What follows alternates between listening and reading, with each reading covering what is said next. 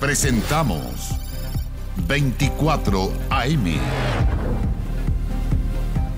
¿Cómo están? Bienvenidos a 24am en este día miércoles, mitad de semana, bien noticiosa, donde va a subir también la temperatura. Tenemos 7 grados a esta hora deberíamos llegar hasta los 25, hasta 26, según el pronóstico. Iván Torres va a estar en un ratito más para contarnos exactamente qué va a ocurrir cuando ya comienza a sentirse la primavera y cuando la agenda está intensa a esta hora de la mañana. Carolina, buenos días. Buenos días, Carla. Como tú bien lo decías, la temperatura ya parece más primaveral, así que levantémonos con ánimos, acompáñenos que tenemos mucho que compartir con ustedes durante esta mañana. Vamos a partir con una noticia importante en materia política. Ayer desde el gobierno hicieron un llamado al orden y a la prudencia que ven ustedes en pantalla y por esta fotografía que están viendo en pantalla. Él es el embajador de Chile en España, Javier Velasco, quien eh, o de quién se reveló esta fotografía que lo muestra en el auto con una persona que después se supo era su pareja, que va ahí con sus piernas eh, posadas sobre él en su regazo, a pie pelado, diríamos en buen chileno. Bueno, esta foto no cayó bien en la moneda, hubo una serie de cuestionamientos y finalmente el gobierno, por instrucción del presidente, a través de la Cancillería, hizo un llamado al orden y a la prudencia a este representante de Chile en el exterior. Decía ayer la ministra vocera de Gobierno, Camila Vallejo, que había que saber habitar ciertos espacios y ciertos cargos y que esto, por supuesto, estaba al margen de aquello y que por eso se le ha pedido este llamado a la prudencia y al orden. Una figura que se ha tornado algo polémica la semana pasada mientras el presidente estaba eh, haciendo un discurso ante la Asamblea General de Naciones Unidas. Eh, este embajador, Javier Velasco, estaba en un foro haciendo un cuestionamiento profundo a los últimos 30 años, diciendo que habían sido 30 años sistemáticos donde se había profundizado la desigualdad. Eso contradijo las palabras del presidente Boric, que salvaba y hacía un buen balance de estos últimos 30 años. De hecho, significó que incluso le discutieran las cifras porque decían que él faltaba a la verdad. En ese momento, el gobierno y el presidente lo respaldó. En esta oportunidad, no, esto cayó mal en la moneda y por eso se hace este llamado al orden y a la prudencia. Vamos a seguir viendo qué pasa porque esto tiene repercusiones. Hay quienes han pedido incluso la salida del embajador de Chile en España. Vamos a cambiar de tema y vamos a ir a lo que debería ser un comentario de espectáculo para ver un show que por primera vez se presentaba en nuestro país en el Estadio Nacional. Y anoche justamente se realizó uno de los tres conciertos de Daddy Yankee, pero el comentario no va a ser de espectáculo, va a ser lamentablemente de que se vio empañado por el caótico ingreso de miles de personas a la fuerza y sin entrada al recinto deportivo, la seguridad completamente desbordada y varios detenidos. Ya vamos a estar con todo todos los detalles aquí en 24 AM. Bien, y va a seguir siendo noticia esto durante el día porque quedan dos conciertos más. Vamos a ver lo que dice la autoridad respecto de la realización hoy día y mañana, si se cumplen o no las medidas de seguridad. Ayer fue bien duro el subsecretario de Prevención del Delito en esta materia, algo que fue respondido por la productora. Lo vamos a estar profundizando al regreso de la pausa que vamos a hacer a continuación aquí en 24 AM. Seguimos con esto y con mucho más.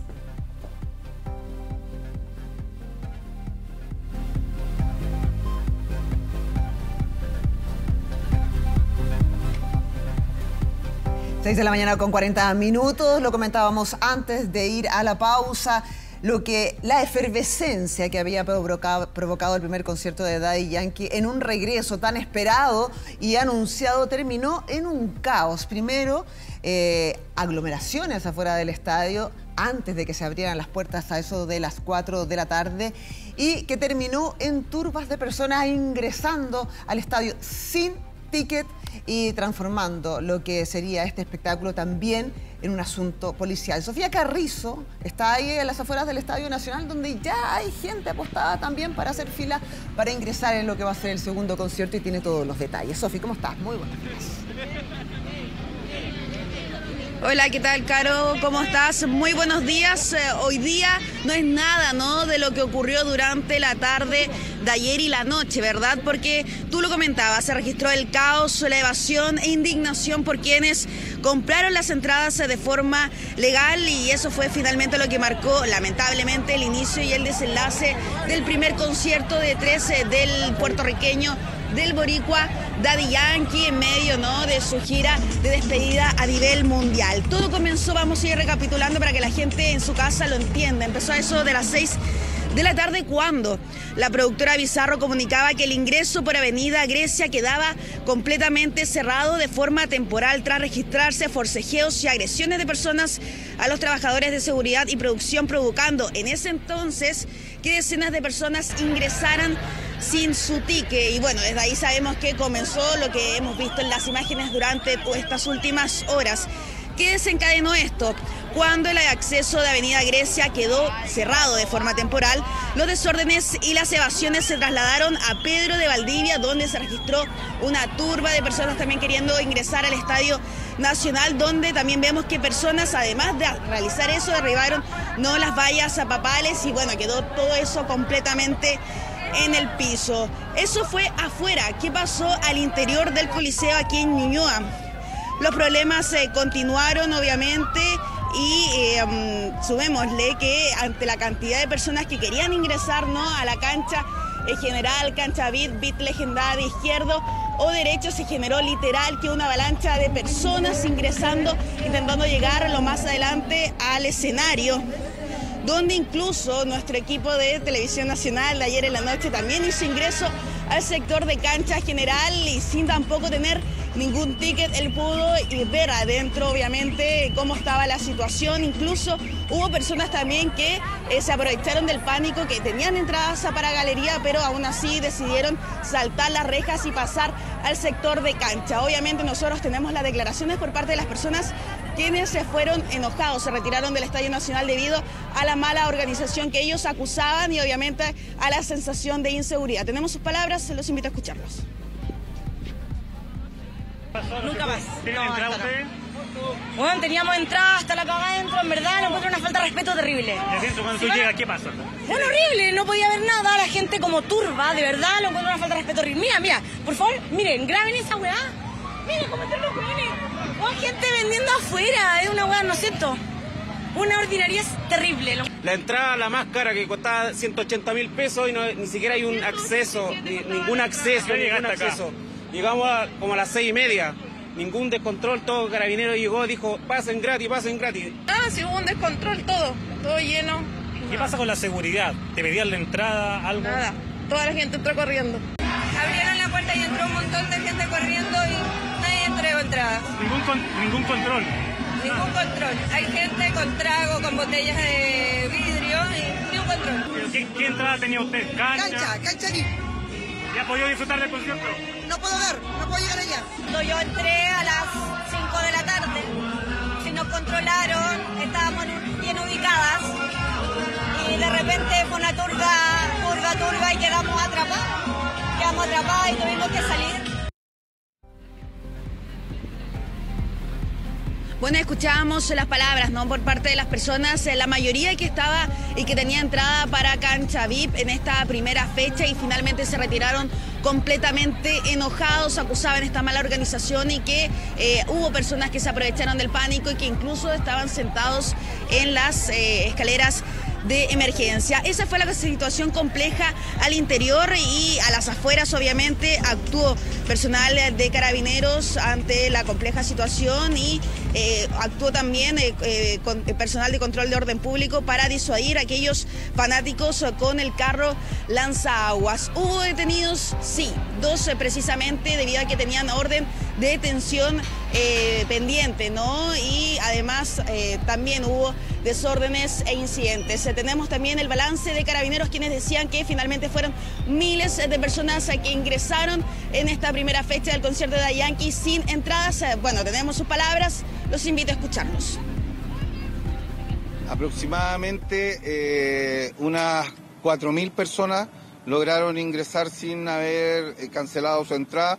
Y no es que sin haber cancelado la entrada, sino es que eh, poder ser validados por, lo, por las personas, para poder eh, verificar si estas habían sido adquiridas o no. Mañana en la mañana se tiene una reunión nuevamente con los equipos de trabajo eh, ya sea de carabineros, con la intendencia, con la delegación presidencial y con la productora, los cuales van a poner unas nuevas medidas de mitigación para poder, para evitar este tipo de hechos se vuelvan a reiterar.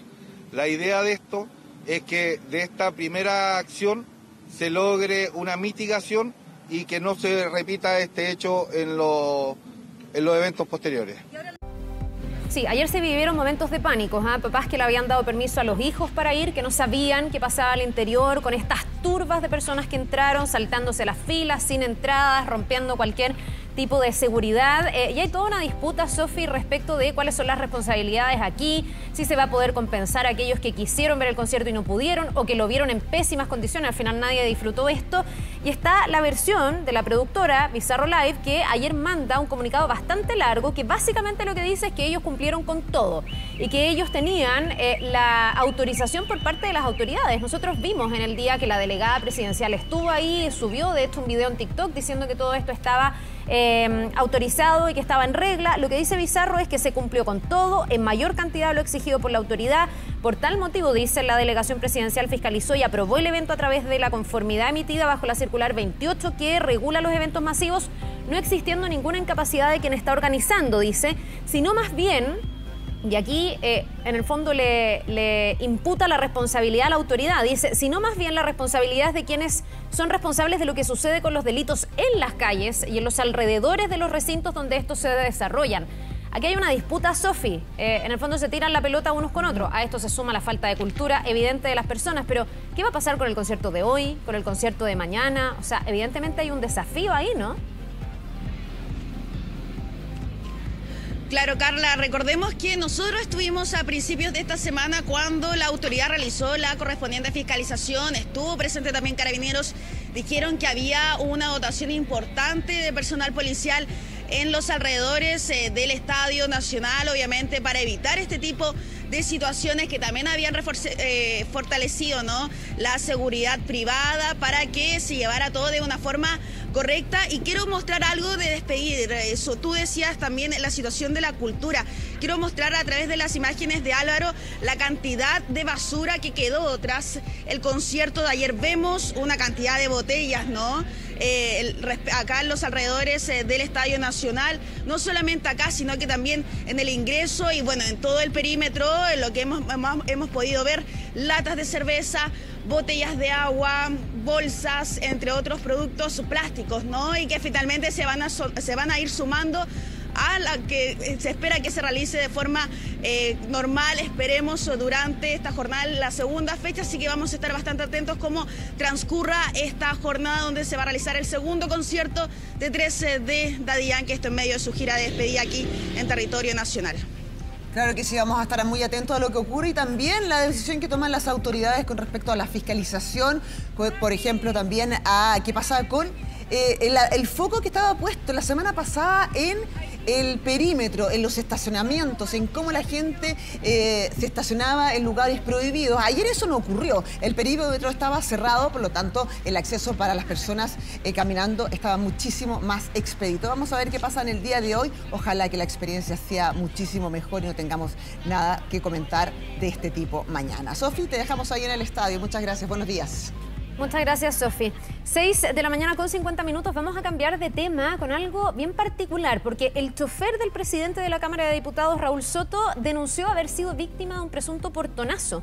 Sin embargo, esto ha ido eh, siendo descartado por la investigación, eh, que en el fondo señala que él estaría mintiendo. Vamos con Fabián Collado, que nos va a contar todos los detalles. Fabián, ¿qué tal? Buen día. Buenos días.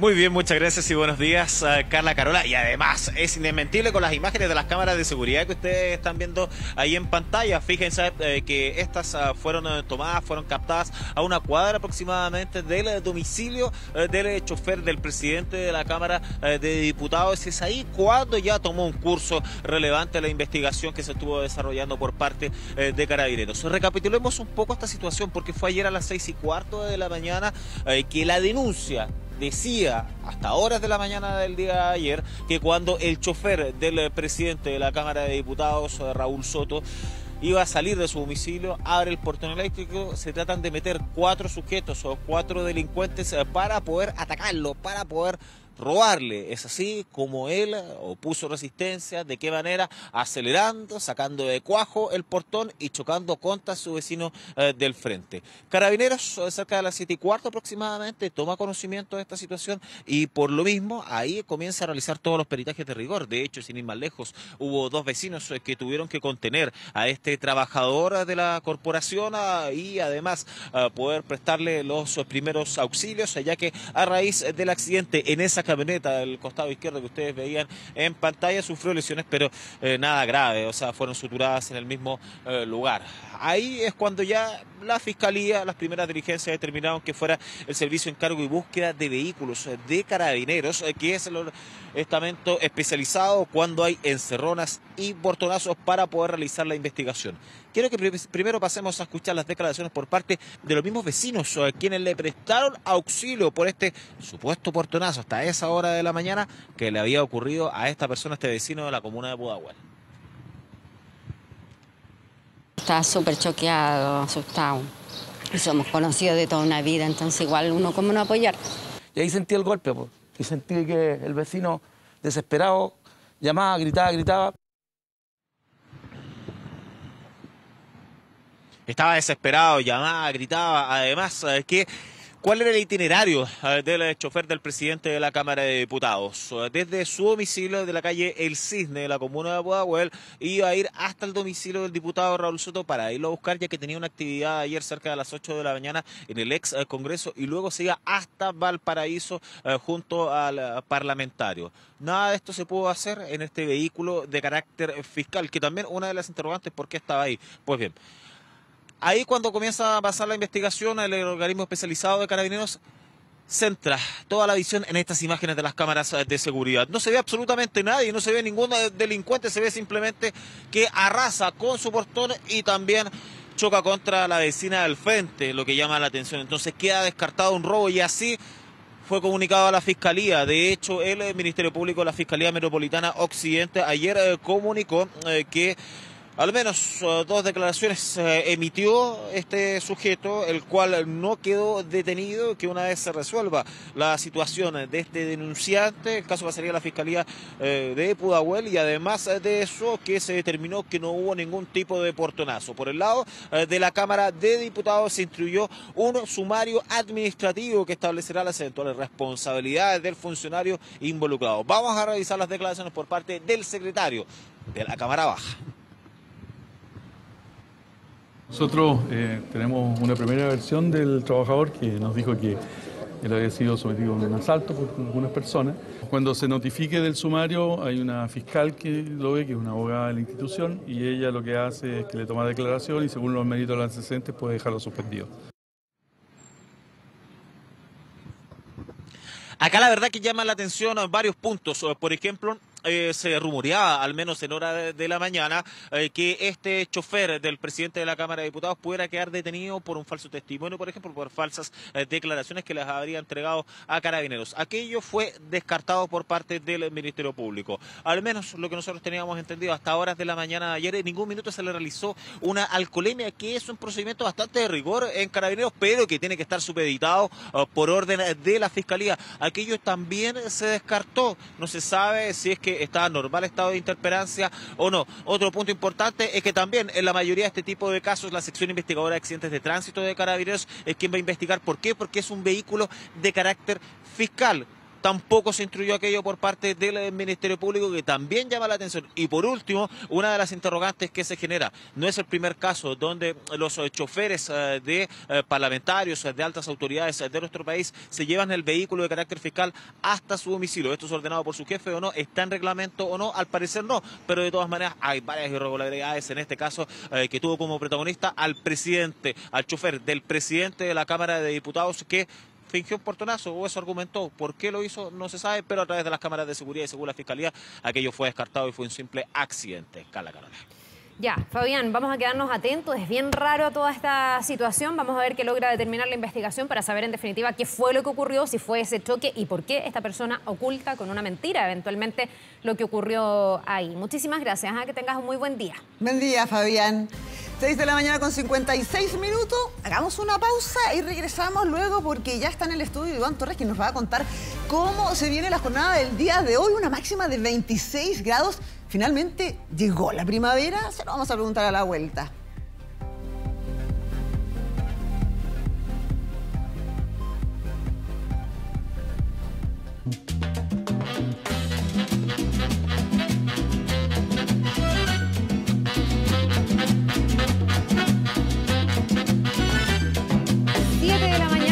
Tres minutos y Estamos saludando en su cumpleaños a Pedro Fernández. Se está cumpliendo 53 años, nació el 28 de septiembre de 1969. Y esto es Yo no fui. ¿Cuántos habrán dicho yo no fui? Yo tampoco. ¿Y cuánto hemos bailado esta canción? ¿Tú no fuiste? Iván? ¿Cuántas veces has dicho no, yo no fui? Uh, muchas veces, Muchas muchas, veces. veces. ¿Sí o no? Yo no vienen a fui. contar cositas malas de mí. No, yo no fui. Yo no fui. Ayer usted dijo yo no fui. Yo no fui, dije. Porque hoy día dijo, yo le dije, ayer yo no vi ni una tormenta eléctrica. Iván me dijo, es que yo no fui, fue la Yo fui. ONEMI. Yo no fui. A la Araca la ONEMI, porque no. Solamente en actividad en cordillera. ¿ya? Ya. Y desde la región, o al norte de la región de metropolitana en el fondo. Pero hoy día sí. ¿Cómo Hoy día? Hoy día hay algo más. Lo algo dijimos más? ayer, son dos días. A ver, la nubosidad en general o los sistemas nubosos son de oeste hacia el este. Usted, señora o señor, y el director prestan atención a esta nubosidad, esta nubosidad se ve que empieza a desplazarse, pero hacia el oeste. Va como contra el sentido contra el sentido habitual. Y eso es porque hay una vaguada retrógrada, vale decir, comienza a retrogradar. Es como que comienza, comienza a aumentar su volumen. Yo estoy aquí, pero mi volumen empieza a ampliar, especialmente el 18, ¿ya? y abarca más espacio del que debería abarcar. Entonces, esta nubosidad se está activando en la región de Coquimbo. Por ejemplo, Vicuña podría tener algunos chubascos en la tarde. Poquita cosa, pero algo puede tener. Al sur de Atacama, en Vallenar también podrían haber algunos chubascos y el sector obviamente precordillera. Esta situación, a pesar de que se ve con bastante nubosidad, así va a estar, es bastante débil. Podríamos tener tormentas secas nuevamente en algunos sectores y en otros obviamente algunos chubascos. Pero de ahí no pasa. Ya. Mientras tanto, tenemos ¿En el bastante nubosidad. El resto del país tiene una alta presión fría acá. En general va a estar prácticamente sin lluvia, salvo Magallanes, pero a fines del día. Y acá va a estar rico. Sí, así. Primaveral. Y así va a ser. Se entusiasmó Ya. nuestro Sí. editor porque puso que hoy día va a aparecer verano. Sí, claro. A ver, Es que voy a la, acercar. la primavera, la primavera ¿Cuál es mi cámara para acercar? Esa, esa. Señor editor.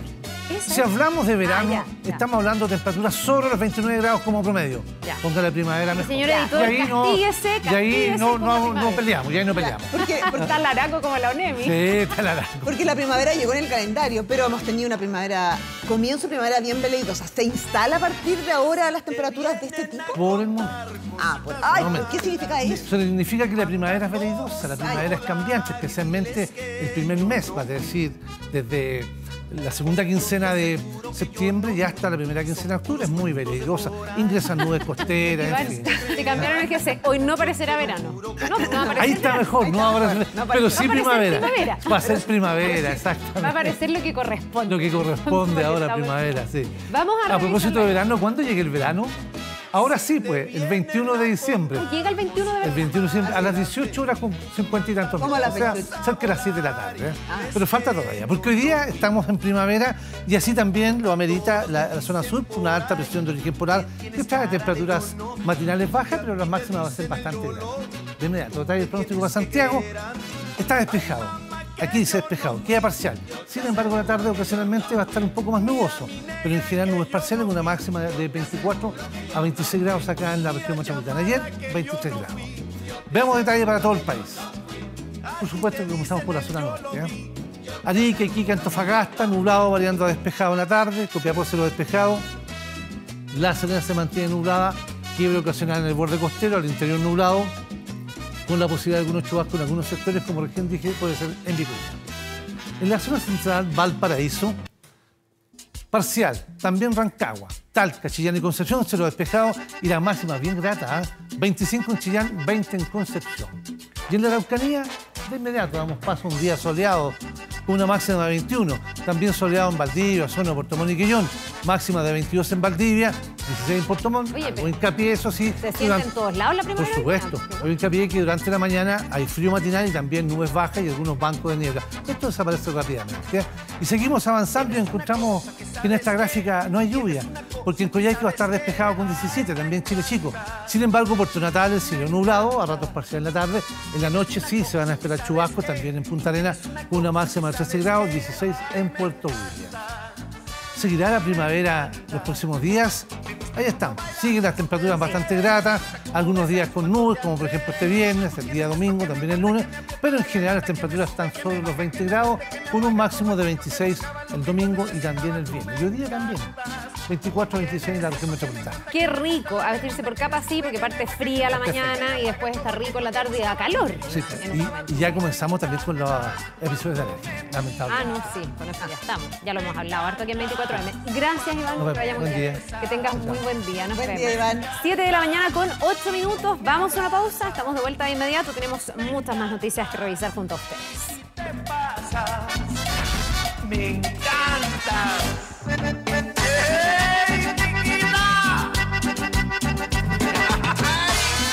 No, sí, de que me encantas, me encantas, mamacita. Mira nomás, mira nomás cómo baila, compadre. ¿eh?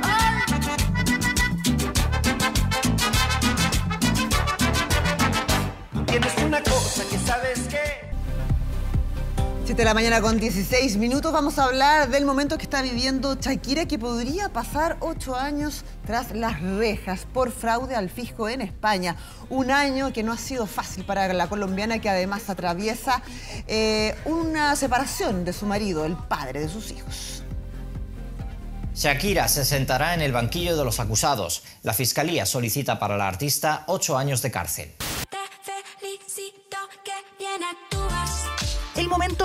Oscuro por el que atraviesa Shakira parece haberse complicado aún más. A su mediática ruptura amorosa con el futbolista Gerard Piqué se suma ahora la posibilidad de que vaya a la cárcel en caso de ser encontrada culpable de fraude en Barcelona.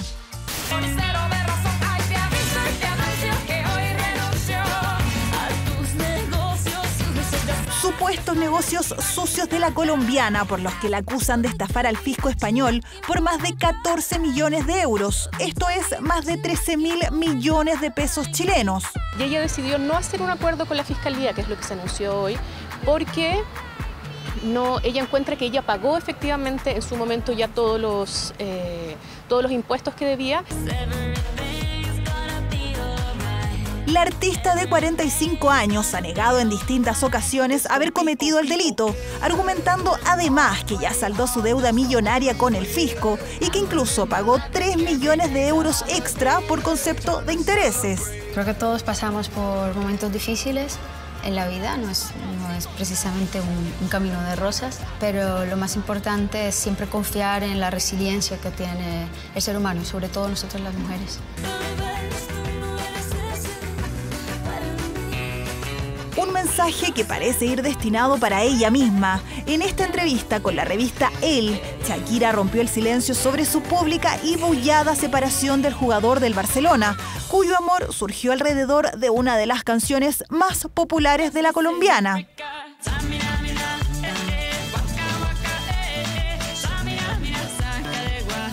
Shakira y Piqué fueron una de las parejas más queridas por los medios y el público durante los más de 10 años de relación. Romance que llegó a su fin después de versiones de infidelidad por parte del futbolista. Eh, imagínate, además la persiguen paparazzi 24/7, entonces no es como que ella pueda relajarse y, no sé, vivir su pena de la manera que quisiera. Yo quiero pensar que tanto dolor va a servir quizás para tener un disco muy melancólico, Disco que ya se encontraría en producción, por lo que no sería extraño ver canciones inspiradas en este momento complejo de su vida. En plena efervescencia de la pareja en 2017, la cantante deleitó con Y la bicicleta, una canción que incluso lo nombra dentro de la letra.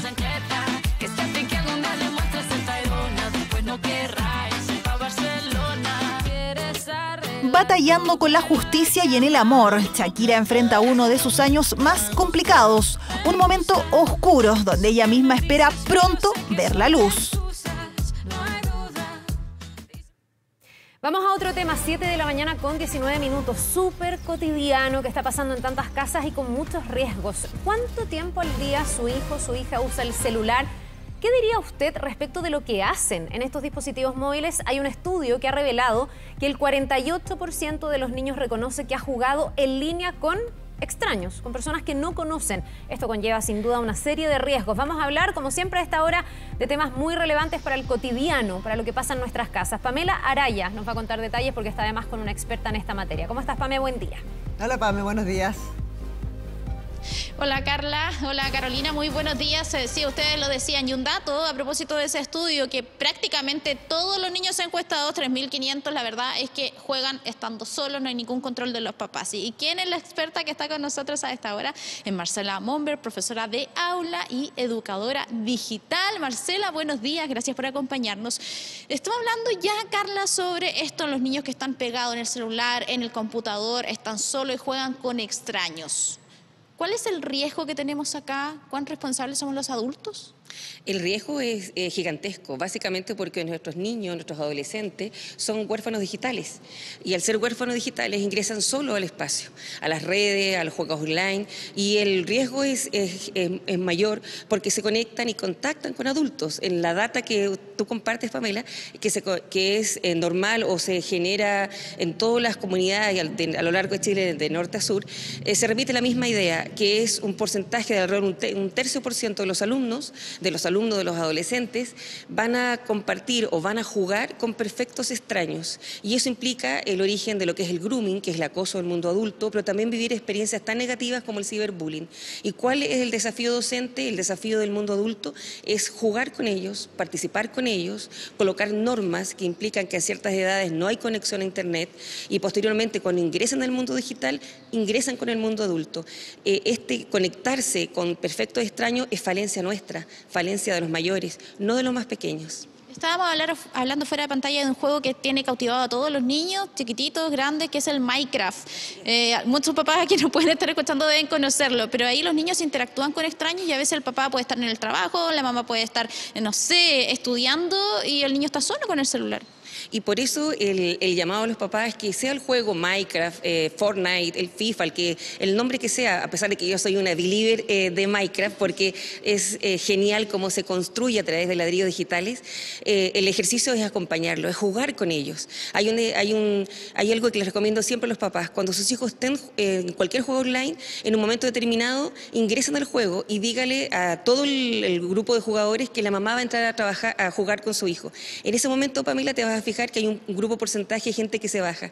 Siempre se baja el adulto y nunca se baja el niño. Por lo tanto, el deber, el ejercicio es acompañarlos en ese proceso. Ejercicio es aprender a jugar también, por lo que decías tú entonces, que, que el papá esté ahí aprendiendo, que el hijo le explique, oye, ya, mira, esto se juega así. Obvio, y ser modelo. Eso implica jugar, acompañar y que él sienta que tú estás al lado. Porque si nosotros entramos criticando, cuestionando, lo único que vamos a hacer es que se van a pasar de un juego que es eh, fácilmente comprensible y que eh, trae muchos resultados positivos en el aprendizaje, como Minecraft, a otros que son más riesgosos. Porque lo que hace el adolescente, lo hacen los pequeños, es cuando entra el mundo adulto criticando, se van a otro espacio que es más peligroso. Eh, la tarea es acompañarlos, decirles que estamos junto a ellos y el ejercicio que ellos van a vivir es lo más positivo que hay. ¿Qué tal? Carla Zunino aquí desde el estudio. Muy buenos días. Eh, este es un tema muy cotidiano, muy importante en las casas y tengo la sensación de que hay un nudo crítico en esto que se está planteando porque pareciera ser que los propios niños entienden mucho mejor los riesgos a los que se exponen que los papás. Este estudio dice, por ejemplo, que los niños creen que ellos pueden ser víctimas, un 82% de acoso sexual en línea, un 73% dice que sabe que puede ser víctima de recibir contenido sexual, de encontrarse con contenido sexual, y el 74% dice que puede ser víctima de ciberacoso. Pero esto se contrapone, porque dice el 99% de los niños que sus papás les permiten siempre jugar solos o con amigos, un 65% que siempre cuenta con permiso para jugar videojuegos violentos y un 40% que puede jugar en línea con desconocidos. O sea, aquí pareciera haber una ausencia de los papás que no estamos entendiendo los riesgos. Así es, querida Carla, el mundo adulto eh, creyó en un momento el concepto nativo digital, que nace el 2001, que los niños, adolescentes tienen habilidades y competencias naturales por nacer en el espacio digital. Y eso es una falacia. Nuestros niños y adolescentes son huérfanos digitales. Eso implica que ingresan a un mundo eh, con herramientas y competencias que no poseen y posteriormente van generando formas de comunicarse, formas de apoyarse, formas de conectarse con el resto del mundo. Tú eh, dabas una data que es, es muy dolorosa. Eh, ellos tienen muy claro cuáles son los peligros, sin embargo, permanecen en ese espacio digital y el mundo adulto cree que ellos tienen las habilidades y no es así. La- el gran desafío que tenemos como sistema educativo, el gran desafío que tenemos como padres es acompañarlos. Perdón, sí. No, no, no, sí. Lo que pasa es que iba solo a complementar, porque esto se agudiza cuando además los niños en este estudio y en muchos estudios que tú has hecho también, se le pregunta qué hacen frente a una situación de riesgo. Cuando efectivamente tienen ciberacoso, cuando efectivamente están con un desconocido que puede ser un pedófilo en línea, por ejemplo, y la mayoría dice que no recurriría a sus papás, a los profesores. La mayoría dice que puede manejarlo solo. Y después vemos casos de depresión, de suicidio, de, de niños que se autoagreden. Entonces uno dice, pucha, están solos en un entorno súper riesgoso y tampoco está la comunicación de contarle los problemas que se dan ahí a los papás. Y la data eh, corresponde completamente con lo que pasa a nivel nacional, pero también a nivel mundial. Cuando tienen un problema, un tercio de los eh, adolescentes, de los pequeños o pequeñas, recurren a sus pares. El problema es que los pares eh, lo que hacen es no orientarlos en, en- en el sentido de protegerse. Doy un ejemplo muy claro.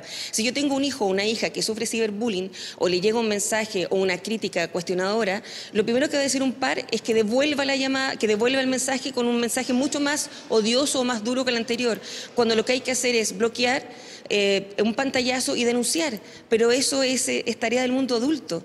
Eh, necesitamos comprobarle a nuestros pequeños y pequeñas que podemos estar en ese espacio acompañándolos y no cuestionándolos o criticando y que sientan en nosotros una confianza. Y ahí está el gran desafío que tenemos. Necesitamos que confíen en el mundo adulto. Es la única forma en que ellos van a poder no sufrir ciberbullying, grooming o una serie de vicios digitales que están que se desarrollaron con mucha fuerza en el periodo de pandemia. Recuerden que tuvimos dos años de inversión digital obligada, por lo tanto pasamos de estar conectados tres a cuatro horas al celular a estar conectados 8, 10, incluso 12 o 14 horas aquellos eh, que son gamer y que juegan hasta 3, 4 de la mañana. Y Ana Marcela Monberg, educadora de aula y también eh, profesora de digital, educadora digital. Muchas gracias por conversar con nosotros esta mañana. Para mí un placer, un abrazo a Carla y un abrazo a Pamela, un honor.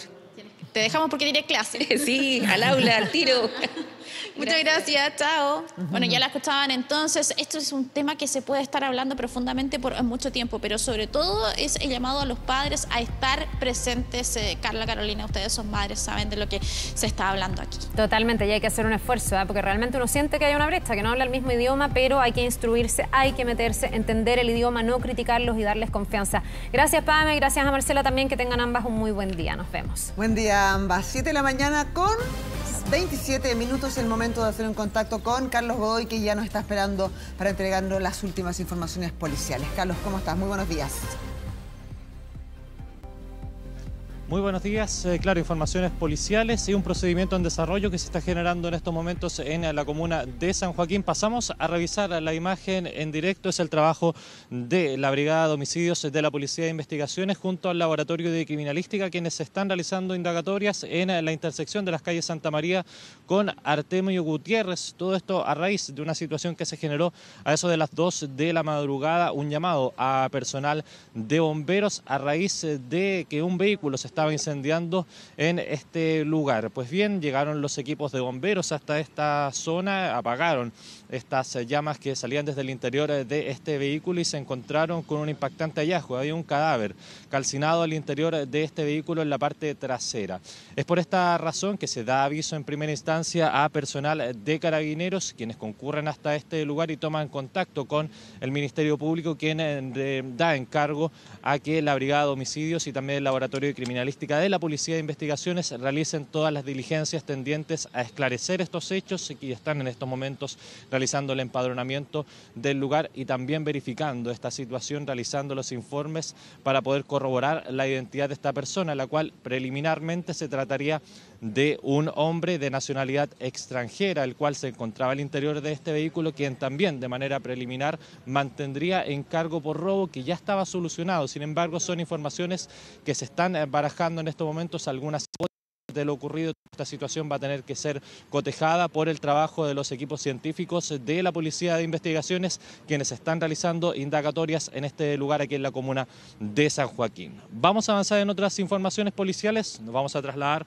ahora hacia la comuna de Pudahuel, en un hecho también ocurrido cerca de la medianoche, eh, específicamente en la calle Lucero, donde un niño de 13 años murió baleado, todo esto al interior de su domicilio ubicado en esta calle, calle Lucero. Es a esta vivienda donde llegó un grupo de antisociales, los cuales se realizaron una serie de disparos. Se está realizando las eh, para poder establecer si es que estos sujetos se movilizaban a pie o lo hacían desde un vehículo. Habrían percutado cerca de 16 disparos eh, con diversas armas eh, cortas y también armas largas. Eh, trabajo que está encargado de realizar el Laboratorio de Criminalística de Carabineros y también el Departamento del OS9, quienes están abocados a poder dar con la identidad de estas personas a través de la revisión de las cámaras de seguridad. Este menor falleció en un CEFAM de la zona. Fue trasladado por su hermano, quien se encontraba en estos momentos en la vivienda al momento de este ataque que Tenemos declaraciones que nos entrega más antecedentes personal de carabineros. Escuchemos. Un menor de 13 años ingresó con una herida en el tórax producto de un impacto balístico, el cual fue trasladado por su hermano mayor de edad, quien denuncia que momentos antes se encontraba en un domicilio cuando escucha eh, gran cantidad de disparos hacia el domicilio, viendo caer a su hermano producto de este impacto balístico. A raíz de esta de esta lesión, el menor muere en dicho centro asistencial. Acá en el sitio del suceso que nos encontramos, eh, se encontraron en la vía pública alrededor de 16 vainillas y varios impactos balísticos en el domicilio que le comenté. Claro, son vainillas, casquillos de bala que se están eh, periciando por parte de los laboratorios especializados de carabineros para poder dar con la identidad de los responsables de este ataque que culminó con el fallecimiento de este menor de 13 años ahí en la comuna de Pudahuel. Nosotros volvemos con la imagen en directo a la comuna de San Joaquín, intersección de Santa María con Artemio Gutiérrez, donde continúa el trabajo especializado del Laboratorio de Criminalística de, de la Policía de Investigaciones y también la Brigada de Homicidios Sur, quienes están abocados a dar con la identidad y también el contexto de esta situación ocurrida eso de las 2 de la madrugada, el hallazgo de este cadáver calcinado al interior de este vehículo. Aquí en este lugar, información que nosotros estamos esperando una vocería por parte de esta policía para que nos entregue más antecedentes respecto a este terrible hecho ocurrido durante horas de esta madrugada aquí en la comuna de San Joaquín. Carlos Godoy, muchas gracias por la información de esta hora. Que tengas una buena jornada. 7 de la mañana con 32 minutos, vamos a otro tema. El gobierno le ha hecho un llamado al orden y a la prudencia al embajador de Chile en España después de que se conociera esta foto que se viralizó a través de redes sociales. Dani Linares nos va a explicar la situación y todas las repercusiones que esto ha generado. ¿Cómo estás, Dani? Buen día.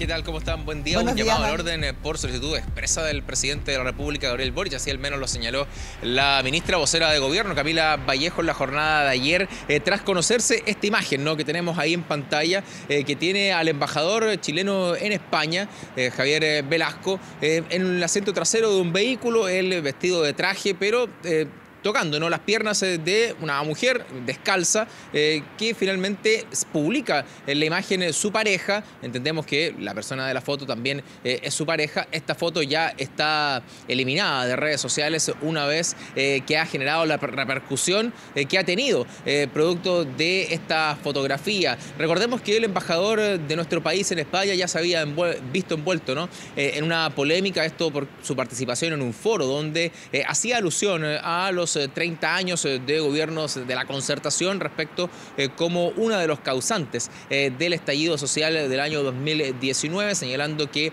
durante 30 años se profundizaron las desigualdades en nuestro país y es por eso que fue el caldo de cultivo para poder dar ese estallido social en el año 2019. Aquella situación fue comentada por el presidente de la República, esto en medio de su gira en Nueva York, en, en las Naciones Unidas, él señalando que se buscaba buscar la, peor cuña posible en respecto a ese hecho y que el embajador contaba con el respaldo en ese momento de la canciller y también eh, del presidente de la República. Una situación diametralmente distinta a días después, una vez que se conoce esta fotografía, porque eh, fue llamado al orden y a la prudencia, sobre todo en el uso de redes sociales, al menos así lo comunicó la ministra vocera de Gobierno en una conversación también que tuvo la canciller Urrajola eh, con el embajador Velasco, todo esto por solicitud del presidente de la República, entendiendo que debe ser aún más cauteloso y cuidadoso con el uso de las redes sociales eh, cuando se publican fotografías eh, como esta, eh, donde, si bien no la, no la publica él, pero sí lo involucra directamente. Vamos a revisar declaraciones tras este hecho y todas las repercusiones que ha generado en el ámbito político. La canciller ya se comunicó con el embajador eh, haciéndole un llamado obviamente al orden y la prudencia, sobre todo en el uso de las redes sociales, eh, por solicitud del presidente de la República. Esta comunicación ya se efectuó, este llamado al orden ya se efectuó y entendiendo lo que el presidente eh, ha señalado, que tenemos que ser responsables cuando habitamos cargos que son públicos, que cuando somos autoridades tenemos que saber habitar los cargos. Sí, una molestia que se dejó ver eh, así explícitamente desde el Palacio de la Moneda, Dani, y que abrió una serie de repercusiones, de críticas. Eh, a uno le parecía bastante previsible que desde la oposición eh, se iba a llegar incluso a pedir el cargo, que fue lo que pasó ayer. Pero también hubo hartas voces dentro del oficialismo que han pedido que el presidente tome medidas más duras y también se reabrió un viejo como cuestionamiento polémica. Si está bien que los embajadores se nombren por razones políticas, en este caso él es un amigo del presidente, o si debiesen ser personas que han estudiado y que tienen una carrera diplomática.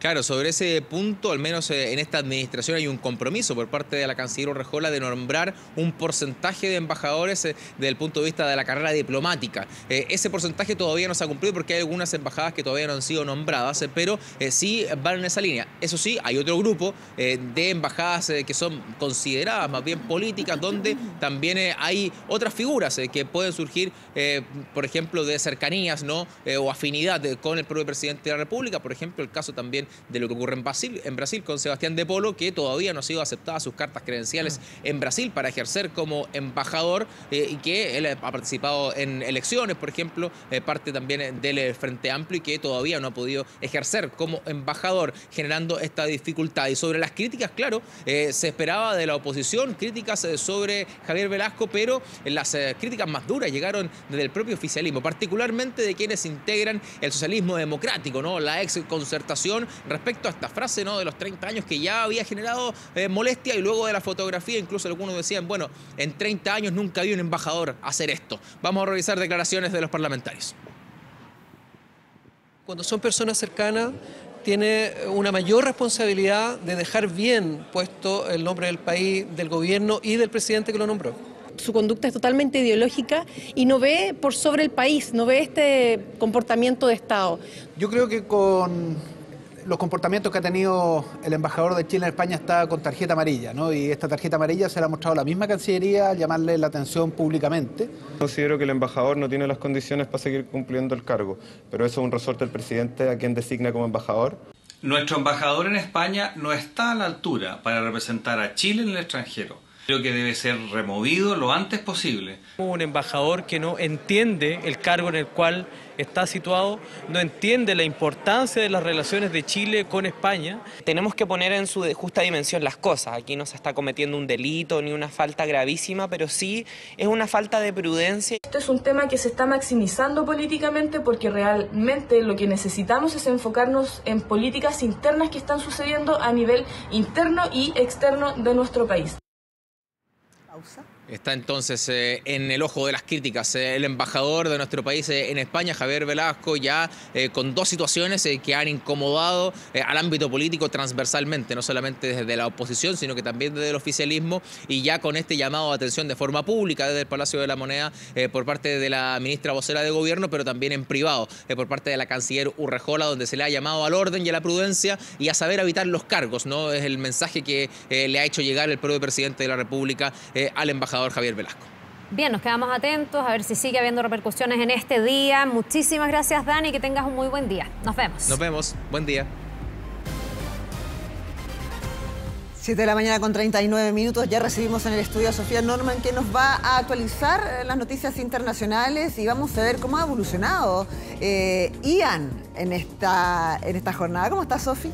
Hola, ¿cómo están? Muy buenos días. Claro, tenemos eh, los ojos puestos en el avance que ha tenido este huracán bien poderoso durante la las últimas horas. Veíamos que ayer estuvo principalmente como una categoría 3, que de todas maneras es un huracán bien potente y ya durante las últimas horas nos llega la información actualizada desde los expertos, las autoridades, que este huracán se fortaleció a una tormenta categoría 4. Todo esto, Caro, mientras está avanzando hacia el territorio estadounidense, específicamente al estado de Florida, después de dejar a Cuba en un apagón total, como podemos ver en las imágenes de las últimas horas. Cuba está completamente sin electricidad. Toda la isla no tiene acceso a la electricidad después que este huracán azotó sobre todo ahí el extremo occidental de la isla. Vemos, por ejemplo, Caro, en las imágenes las marejadas olas gigantes que hubo durante el día de ayer frente al paso del huracán Ian por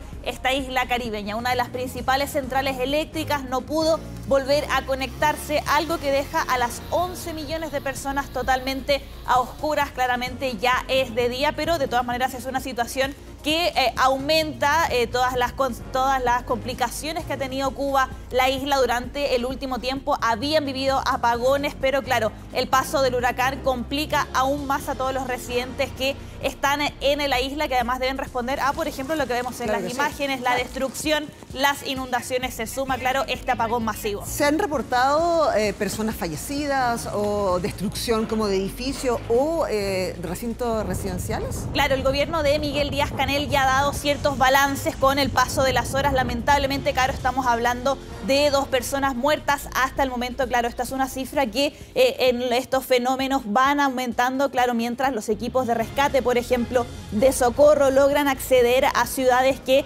quedan totalmente afectadas por estos fenómenos, como es el caso de la isla caribeña de Cuba. Veremos durante la jornada porque se espera que ya para la tarde de este día miércoles el huracán Ian ya estaría tocando tierra en el estado de Florida donde billones de personas están bajo esta orden de evacuación porque es un fenómeno que va a poner en riesgo la vida de las personas según también las mismas declaraciones de las autoridades estadounidenses. Veremos ahí cómo sigue esta situación complicada que se está dando ahí dentro de Estados Unidos. Estados Unidos que, que, está, que está preparado para recibir este tipo de fenómenos y sobre todo en el estado de la Florida, que es donde más frecuente eh, se establecen. Y eh, Tampa también estaba alerta Claro, todas las ciudades del estado están en máxima alerta, ya están todos preparados, claro, pero siempre es bueno ahí las autoridades decían volver a dar todas las advertencias para evitar una situación como por ejemplo víctimas fatales, que siempre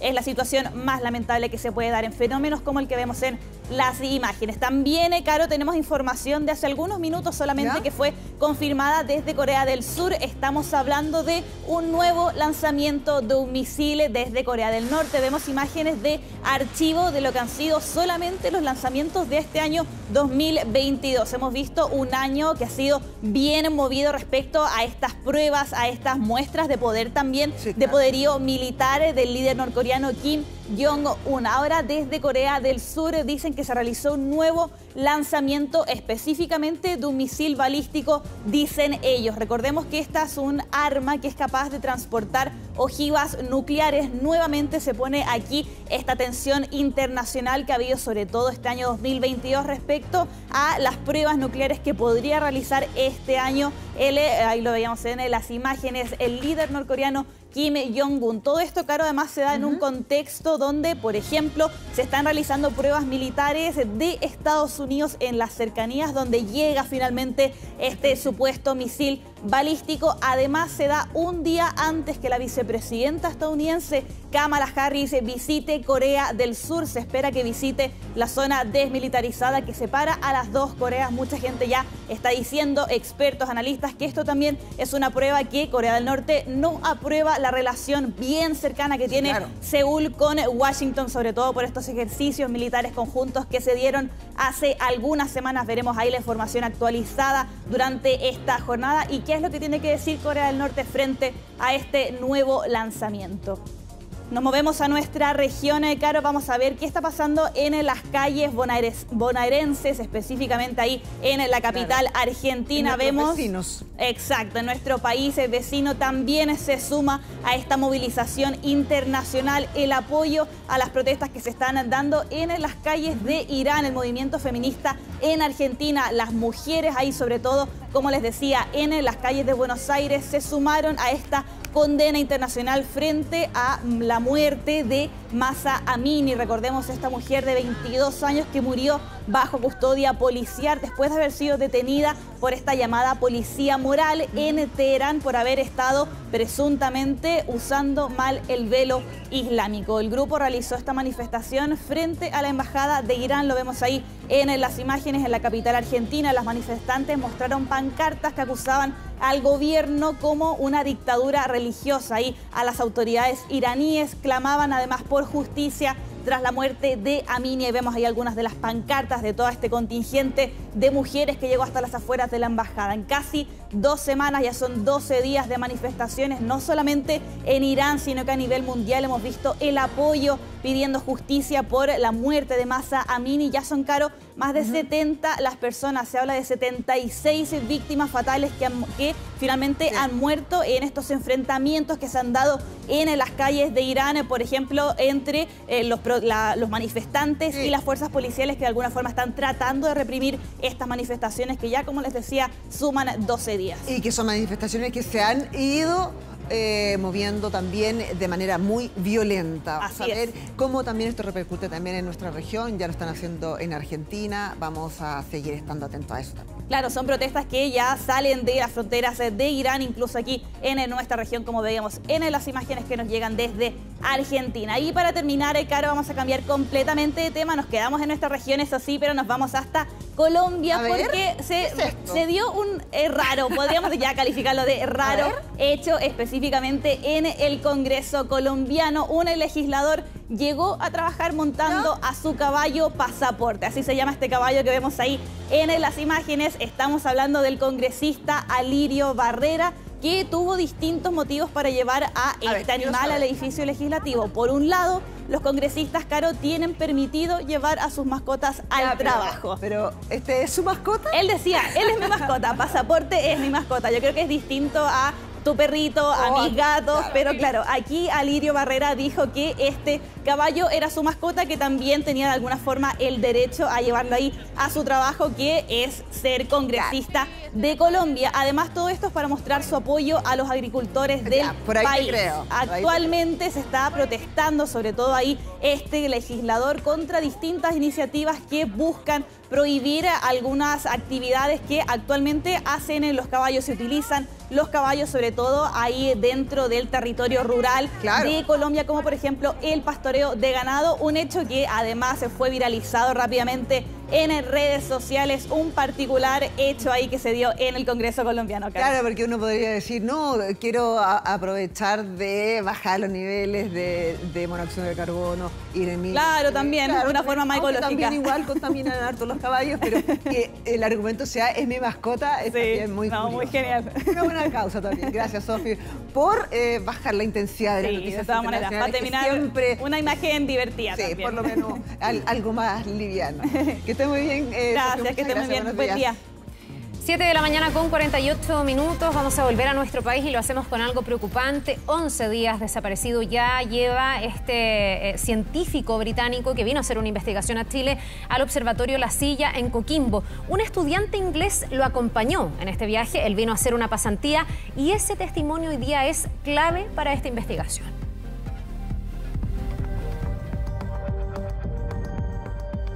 264 horas lleva desaparecido el científico británico que habría salido de trekking justo el día que comenzaba a ocupar una reserva solicitada con meses de anticipación para usar un telescopio con nueva tecnología, ubicado a 2.400 metros de altura en el Observatorio Internacional La Silla. Puede que esté por esos cerros para allá, porque esos cerros ahí, allá hay una baja que baja para allá, por una parte donde le llaman la tranca, más arriba de Vizcaya todos esos cerros son muy altos y, y por ahí no hay nadie. Creo que ahora no hace mucho que fui para arriba, yo andaba Guayalón por ahí, por aquí era arriba. ¿Lo vio? No, la huella. En el Observatorio Europeo del Sur, los funcionarios han cooperado con la investigación, pero aún no hay respuestas decidoras. A 11 días de la misteriosa desaparición de Thomas Richard March, de 60 años. Por aquí trabajando por los cerros, los leones no, no han habido que hayan atacado a alguna persona. Las llaves del astrónomo que se hallaron en el trayecto entre el telescopio NTT y su habitación ha sido de la escasa información que ha salido a la luz en esta hermética investigación. Ya van más de 3.300 hectáreas que se ha recorrido en la búsqueda del científico británico en un lugar que puede llegar a marcar 25 grados el termómetro durante el día y por las noches 12 grados bajo cero. No existen indicios que nos hagan pensar que él no esté vivo. Fue la afirmación del fiscal a cargo del caso, luego de las pistas encontradas. Durante la última jornada de rastreo, argumentaron no hablar para no entorpecer las labores de búsqueda y la investigación. A veces más no necesariamente significa mejor, por lo cual el despliegue de más personal y logística debe ir acompañado de una gestión que disminuya la posibilidad de duplicidad de esfuerzos y, por cierto, mantenga una aproximación sistemática y ordenada. El astrónomo y astrofísico inglés viajó a Chile el 14 de septiembre para hacer una visita investigativa en el Observatorio La Silla. Lo hizo acompañado de un alumno de doctorado de primer año. El estudiante fue la última persona que conversó con el profesional extraviado.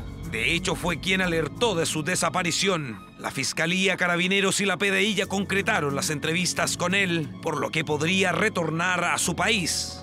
Intentamos obtener una declaración del alumno, pero vía correo electrónico argumentó no tener ningún comentario sobre el tema. Nos tiene a todos eh, bien consternados, o sea, tanto a la comunidad científica como a todos los que involucra un observatorio. La silla es un observatorio internacional de la ESO, donde hay muchos países involucrados y por lo mismo eh, toda persona que sube, sube identificada, eh, tiene ciertos caminos que recorrer, entonces la seguridad es bastante grande. Yo en verdad no me explico cómo se puede perder a alguien ahí. La embajada británica está proporcionando asistencia consular a la familia y está en contacto con las autoridades locales, mientras el observatorio La Silla permanece en alerta con más de 80 funcionarios que de día y de noche realizan indagatorias para localizar al doctor March. 6 de la mañana con 52 minutos. Vamos a regresar a las inmediaciones del Estadio Nacional. Ahí nos espera Sofía Carrizo, que nos va a contar en resumen lo que ocurrió la noche en el primer concierto de Daddy Yankee y cómo se preparan los fanáticos que ya no están apostados ahí a las afueras del estadio. ¿Qué aprehensiones tienen? ¿Cuál es la opinión que tiene Sofía? Te escuchamos a esta hora. ¿Cómo estás? ¿Qué tal, Caro? Carla, retomamos el contacto y seguimos apostados a las afueras del Estadio Nacional, donde hemos podido ver que ya las personas están levantando eh, sus eh, pertenencias, ¿no? Guardando las carpas, levantando algunas frazadas, porque ya no hace tanto frío como hace un ratito atrás y podemos ver que el número de personas ha aumentado con el paso de los minutos. Debo decir incluso que ya hasta ahora hay mucha más gente de lo que se registraba durante la jornada de ayer y obviamente eh, es distinto a lo que ha pasado durante lo que pasó durante la jornada de la tarde y de la noche donde se registró un completo caos, donde hubo personas que no respetaron, ingresaron a la fuerza, miles y miles, eh, eh, decía Carabineros, que ingresaron al Estadio Nacional a la primera presentación de Daddy Yankee en Chile. Hubo agresiones por parte de los fanáticos a los propios trabajadores eh, de la productora, personal de seguridad. Hubo detenidos, eh, tuvo que incluso actuar personal de carabineros para disuadir a los fanáticos eh, quienes estaban ingresando ¿no? y generando desórdenes a las afueras del Estadio Nacional. ¿Y qué pasa hoy día? De momento todavía no se ha dicho nada respecto a la continuación, si es que se lleva de forma correcta el concierto durante la noche. Lo único que sí sabemos es que va a haber una reunión entre la productora y las autoridades para ver cómo se va a desarrollar esta jornada y obviamente evitar que ocurra lo que pasó ayer en la noche si obviamente los, fanáticos están viendo, están nerviosos, hay un poquito de ansias, debido a que tienen miedo que, que ocurra lo mismo que pasó durante la noche de ayer. ¿Cómo estás? Muy buenos días. Preguntarte, me comentaba anteriormente que había un poquito de nervio respecto a lo que iba a ocurrir durante la noche, ¿verdad? Sí, eh, totalmente. Quedan ocho horas de amor para estar aquí por Daddy Yankee. Así que aquí estamos los fanáticos de Chile. Daddy, no nos olvide, vaya Viña, nosotros lo vamos a ir a ver. no, pero bien, eso, eso. Estamos aquí ansiosos, expectantes. Con hambre, frío. A pesar de todo, para ver al, Big Boss, ¿verdad? Al Big Boss, sí. Muchas gracias. Gracias. Gisela. Gisela, bueno, escuchábamos las palabras de, Gisela, quien llegó bastante eh, temprano, pero había también otros que llegaron eh, durante la, la madrugada, incluso durante la noche de ayer para agarrar un buen puesto y poder ingresar de forma más expedita. Hay incertidumbre, hay nervios y obviamente un poco de frustración por parte de las personas que llegaron el día de hoy para que eh, no ocurra lo del día de ayer. Tenemos las palabras de ellos, los invito a escucharlas. Una vergüenza, una vergüenza porque al final todo lo que compramos entrada nos costó harto comprar. Hay niñas que han comprado a revendedores, que también la confianza, el esfuerzo que hicieron, yo ahorré, ahorré para comprar mi entrada y todo eso, entonces como súper injusto que se metieran. Demasiado grande. Sí, nos dieron abasto, ojalá lo de ayer le haya servido y hoy día sea un día mejor y la gente se sepa organizar y salga bien las cosas, porque igual es miedo entrar y avalancha. Eh, yo llegué a las seis y media de la mañana eh, y somos, yo soy de Concepción. Dejamos las maletas, dormimos como dos horas y de nuevo para acá para hacer la fila, para poder tener un buen lugar. Sí, yo creo que hay bastante nervio, ansiedad en el tema de que nosotros pagamos mucha plata porque queríamos algo bueno. Pero por lo que vimos en redes sociales que Speed es más grande que Cancha y también encontré injusto ayer que pasara gente colada sin haber pagado su dinero. Bueno, ahí teníamos las palabras no por parte de las personas que ya han llegado aquí a las inmediaciones del Estadio Nacional. Carabineros decía ayer y fue bastante enfático que fueron aproximadamente 4.000 personas las que ingresaron sin ningún ticket al Estadio Nacional y lo que generó al interior colapso, ¿no? Precisamente estas personas queriendo ingresar a lo más cercano al estadio, por ejemplo, colapsando cancha VIP, eh, los sectores que también eran los más caros, pit legendari izquierdo, pit legendari derecho y también cancha general que se vio a través de redes sociales completamente colapsada y obviamente no faltaron los que se aprovecharon del pánico, que tenían entradas en galería y se saltaron las rejas para ingresar a la explanada. Nos llega también una información por parte de la delegación presidencial que va a haber una reunión precisamente entre la productora y las autoridades y va a ser a las 11 de la mañana y a las 9 van a estar en la pauta en esta actividad por parte de la Subsecretaría de Prevención del Delito en la comuna de Pudahuel, así que vamos a estar bastante atentos, pero obviamente tenemos las reacciones por parte de las personas que llegaron ayer, tenían su entrada, pero se fueron bastante enojados porque no pudieron ver el show de la mejor manera. Tenemos las declaraciones, los invito a escucharlas también. Nunca más. ¿Tienen entrada ustedes? Bueno, teníamos entrada hasta la cama adentro, en verdad lo encuentro una falta de respeto terrible. ¿Y adentro cuando tú llegas qué pasa? Bueno, horrible, no podía ver nada, la gente como turba, de verdad lo encuentro una falta de respeto horrible. Mira, mira, por favor, miren, graben esa weá. Miren cómo están los miren. Hay gente vendiendo afuera, es una weá, no siento. Una ordinaria es terrible. La entrada, la más cara que costaba 180 mil pesos y no, ni siquiera hay un acceso, ningún acceso, ningún acceso. Llegamos como a las seis y media. Ningún descontrol, todo carabinero llegó, dijo, pasen gratis, pasen gratis. Ah, sí hubo un descontrol, todo, todo lleno. ¿Qué pasa con la seguridad? ¿Te pedían la entrada, algo? Nada, toda la gente entró corriendo. Bueno, teníamos ahí las palabras por parte de las personas que concurrieron durante la noche de ayer al concierto de Yankee bastante molestos, ofuscados respecto y ellos acusaban a una mala organización que no había seguridad y que eh, finalmente se, se eh, pasó todas las medidas de eh, los protocolos para de estas personas para poder ingresar al estadio, así que vamos a estar bastante atentos cómo siga transcurriendo esta segunda jornada, pasará o no pasará lo que ocurrió durante la tarde y noche de ayer y vamos a estar obviamente pendientes a las medidas que finalmente tome la productora y las autoridades de aquí de la región metropolitana, Carla y Caro. Sí, súper importante esa reunión que tú dices se va a sostener esta mañana. Anoche ya el gobernador metropolitano Claudio Rego decía que si no había un plan de seguridad en serio para este segundo recital de Daddy Yankee, que sea liderado por el gobierno con carabineros y la productora, eh, se debería suspender este concierto y el que sigue por falta de seguridad para el público. Dice lo de hoy es inaceptable y no se puede repetir.